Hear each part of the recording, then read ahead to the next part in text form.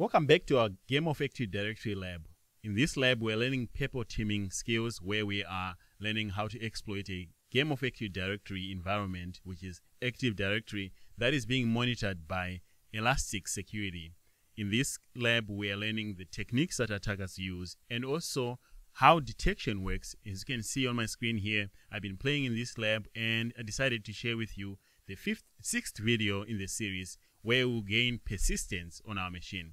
In the last video, we were able to follow step-by-step -step methodology on how to exploit a SQL server.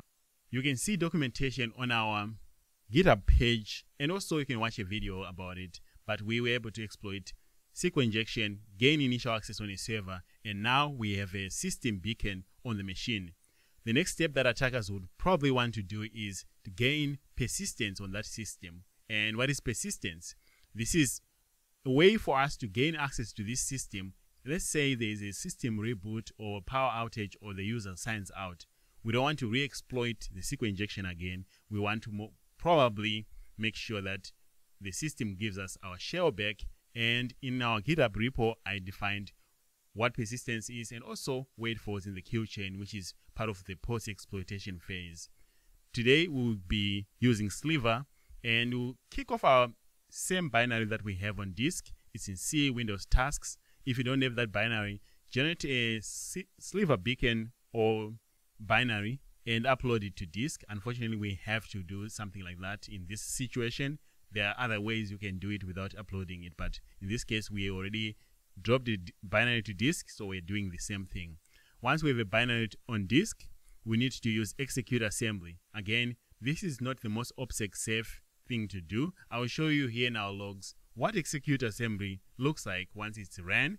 And that's the whole goal of this. We'll run these tools that we all know are documented. And how do we defend against them? And you'll see in a little bit. For us to gain persistence, we're going to create a scheduled task. And this scheduled task is going to be created using Sharp Persist. Sharp Persist is a tool that you can find online on GitHub and other locations as well. But Sharp Persist allows us to create persistence using different ways like a scheduled task, like what we're doing today. There's a lot of options out there that you can use, but it allows us to run things in memory. While we'll be running things in memory here, what you'll notice is that in our Elastic, the default sliver payload definitely gets picked up as memory patching. You can modify this so that it doesn't, but that's beyond the scope of this video. We just want to show you how we can do that. So with this background in mind, you are going to need Sharp Persist downloaded on your Kali, and you can grab it from this GitHub repo that I showed you. Uh, on the Mandiant Sharp Persist repo, you can compile it from from scratch, or you can actually just download the pre-compiled one if you're lazy. Just don't do that in production. For a lab environment like this, I'm okay with that. Specifically for our scheduled task, we want it to be at logon, which is at system reboot or anything like that.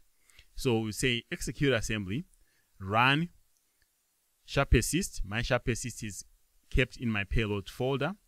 They want to create a task, uh, schedule task. We will name this task backup task and it should kick off at logon. That's what this command is going to do. You can find these notes on our GitHub repo that will be uh, posted down there. Otherwise, let's go back to our beacon and run execute execute assembly. This is actually uh, in our session mode. You can also run the same uh, in beacon mode using execute assembly. But before I run it, let's just verify that in my payloads, I do have sharpassist.exe. You definitely need to download that. And I can, I'm not going to show you how to download this from the internet. You can simply do that yourself. Otherwise, let's run it. And once this completes, we will definitely check to make sure that the scheduled task was created. Here I define like the name is uh, backup task and m add is just the scheduled task. To verify that it was created, we use execute assembly.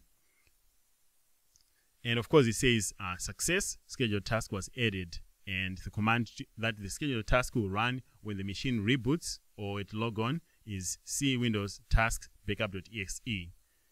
Let's see how we can check to make sure that it's there. Execute assembly. Um, in this case, we want to run sharp persist. We want to use a schedule task module that they have and we just want to list. There's a way you can filter through. I don't know how. So I'm just going to list all of them. And then we'll scroll up and we'll check to see if our task with the name backup task is actually created. It should be near the top. This is all the tasks. So let's scroll near the top. All right. So here's where we listed the task. And as you can see, backup task was added. And what is the information about it? It's at logon. Backup.exe will definitely run then. But of course, we're not going to wait until it does that. So we're going to restart this machine and see if it actually comes back up. So right now, if I say sessions, I have um, this session that I'm in right now, beacons. I also have this one beacon that I have. I'm going to kill this beacon, trusting that my schedule task will kick off. If it kicks off, I should definitely be able to see it. And we can restart this machine. I, I'm just going to go to my um, Proxmox here. This is the web machine that I'm in. I can just restart it using the console as if I was a normal user who was signed in. So I just restart it. And it's restarting in Proxmox. While we ran execute assembly and created a scheduled task, there should be events, Windows events that were generated. For example, there should be a service schedule task creation event in uh, Sysmon that would have been created. So these are the rules that we have. Let me move myself out of here. And we have a, a lot of alerts. For example, this one here, we executed notepad.exe. This is from us interacting with execute assembly, specifically this one here. AMSI or WSA patch, and it says here, generates a detection alert each time Elastic endpoint alert is uh, created. I know this, this bypass here identifies attempt to modify the permissions or write to the Microsoft anti-malware scan or MSI. So us running execute assembly from our beacon did this, generated this alert. Let's go back. Since we restarted our machine, let's check our beacons. Okay, of course, the beacon is dead now. And our sessions, our session is also dead. So what we can do is uh, sessions prune and if I say sessions now, the session is gone. Beacons, beacons, and this beacon is dead. So say beacons prune. The prune commands will, will just uh, remove the, the beacons. So I'll specify dash D for the duration. Maybe I'll just say two minutes so that I can prune that one. Otherwise, beacons will only be pruned after the default one hour time. Okay, so sessions, we don't have any sessions beacons. We don't have any beacons. Let's check to see if our machine restarted. Yes, it did restart. So we need to wait to see if we get a beacon from that restart. It should take a few seconds or maybe a minute or so, but that scheduled task should definitely kick off.